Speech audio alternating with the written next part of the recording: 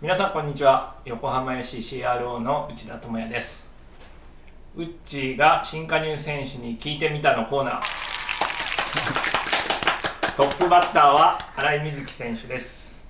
じゃあ早速自己紹介をお願いします、はい。えー背番号41番フォワード新井瑞希です、えー今日はたくさん質問に答えて、えー自分のことを知ってもらえるように頑張ります。よろしくお願いします。お願いしますじゃあ早速質問していきたいと思います。じゃじゃんニックネームや呼んでほしいあだ名ニックネームはもう下の名前でうん。瑞希で。はいそのしたいです。理由は？ないね。ないです。単純に、はい、名前だもんね。サッカーを始めたきっかけ。サッカーは小学校2年生の時に始めてその時に幼稚園の時とかに仲良かった友達がみんなサッカーを始めて1年生。でそれで自分もちょっと続けて入るみたいな感じで始めました。子供の頃の夢やなりたかった職業。えーずっとサッカー選手になりたくてそうやって言ってた記憶があります。好きな食べ物？好きな食べ物？嫌いな食べ物は逆になくて何でも食べれるんですけどなんかこれと言って聞かれるとあんまりこだわりはないんですけど、まあ、なんかご飯行く時とかはみんなが食べたいもの結構合わせていきます。自分を動物に例えるなら。うーん犬っぽいって言われます。好きなアニメや漫画。えっ、と最近はブリーチを中学生ぐらいの時とか小学生とかでよく見てて新しいのが最近始まったんであの海外にいる時に暇で一番最初から見返そうとしたら150話ぐらいでちょっと疲れちゃってやめて。でもまあブリーチとか最近だったらなんか「ソードアートオンライン」っていうアニメがあるんですけどそれを勧めてもらって見てます。知ってますか、キーさん？全然知らない。見てみて見てみるわいはい。子供の頃好きだったサッカー選手えっ、と子供の頃はブラジルのロナウド。はい。横浜 FC への加入を選んだ理由。そうですね。まあ単純にオファーをもらえたっていうのがあってそれが嬉しかったのと、まあ、去年も試合とかで J2 でやってるんで、まあ、その時の対戦のことだったりとかチームの雰囲気とかを見ていいと思いました横浜 FC のチームの雰囲気や印象。今今の感じですか、そう。うーん。最初めちゃめちゃ緊張してたんですけどまあでも亮也とかシオンとかボニーとかいて仲いい人たちもいたんですけどでも今日とか拓也君とか達也君とかめっちゃ話しかけてくれてだいぶベテランの人たちも優しいので徐々に馴染んできてます。横浜といえば思い浮かぶもの横浜といえば。うーん。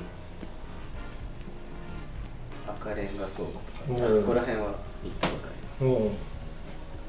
横浜でお気に入りの場所や行ってみたいところ。行ってみたいところ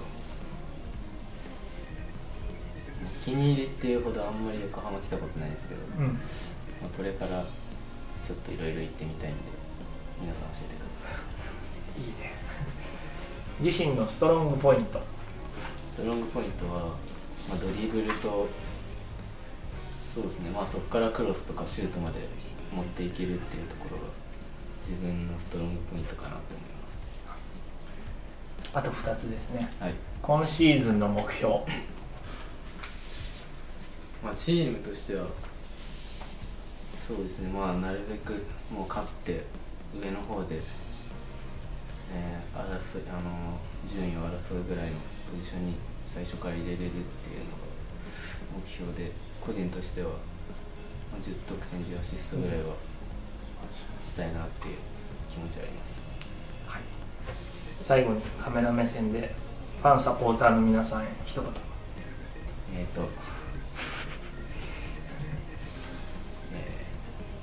年1年間、えー一緒に戦いたいと思うので、えーまあ、ファンやサポーターの皆さんのがスタジアムに来てくれれば僕たちも嬉しいですし、まあ、その人たちのために頑張ろうと思えるので一緒にスタジアムで戦いましょう。よろしくお願いします。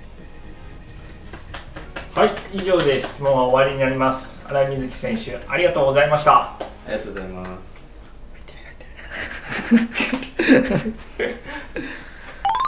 ロナウドってあんまそんな世代じゃないと思うんだけどなんでロナウお父さんサッカーやってて。お父さんがその好きだった選手がロナウドと、まあ、あの若い時のメッシ好きで、ロナウドもインテルの時とか、うん。あのブラジル代表の全盛期の時やばくて。そうだね。一人でもいけちゃうみたいな、あれ俺もともとフォワード最初ちっちゃい時やってたんで、やばいと思いましたねあれは。こう移籍に対して不安とかってなかったですか？横浜 FC もそうだし。あーいや俺もうプロ7年目なんですけど、7うん。年目うん。7年目でチーム目え？あそうか。うん。富山とかもあるしね。はい、うんだと思うんですけど。なんであんまり抵抗なくて。うん。で特に横浜市とかだと知り合いの選手とかもいるし、チームの雰囲気とかもなんとなくわかるんで。うん。今回は全然なかったです。うん。横浜 FC で以前から親交のあった選手とか今いなくてもいいですいいですし。前島亮太。前島亮太はもう又山で一緒にやってたんですけど、うん。うん。プライベートでもめちゃめちゃ仲良くてインスタ上がってたもんね。はい。その横浜 FC のリリースが出た日も一緒にいました。うんすごいね、へえ